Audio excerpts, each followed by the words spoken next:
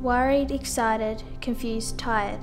Stressed, didn't want house to burn down. Hot, cranky, felt sick, stomach in a knot.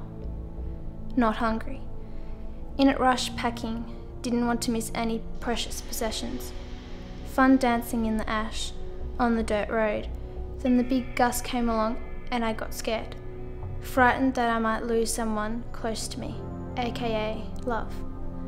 Losing my life and losing my house and Warburton, which is practically my life. Checking SES website 24 7 to see update on fire's whereabouts. Wanted some company from friends. Didn't want to fight with family, but did anyway.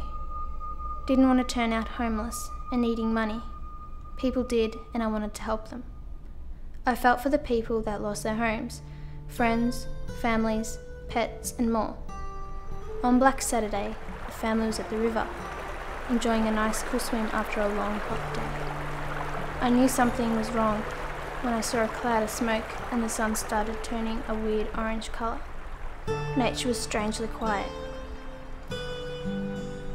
My little sister and I rushed over to tell Mum. We thought it would be best to leave.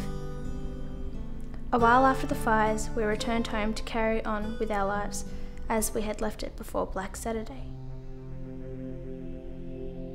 My mum went up in a small aeroplane in early April and flew over Dixon's Creek, Kinglake, Marysville, Healesville, East Warburton, Powelltown, and Gembrook. The photos show what destruction a fire can do, and we are still coping with how the fire has impacted on us.